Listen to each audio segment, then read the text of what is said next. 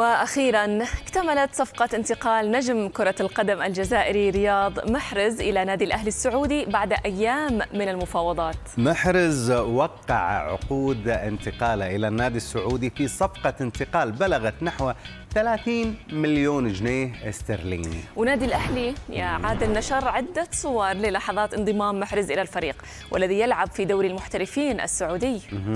كان محرز نشر رسالة وداعية لفريق مانشستر سيتي مؤكدا أن اللعب في صفوفه كان شرفا قد حصل عليه. جاي للأخضر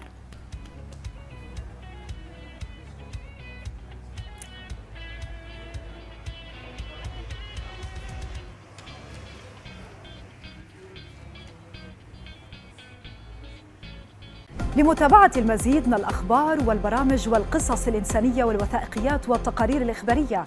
لا تنسوا الاشتراك في قناتنا على يوتيوب الضغط على زر الإعجاب وتفعيل جرس التنبيهات.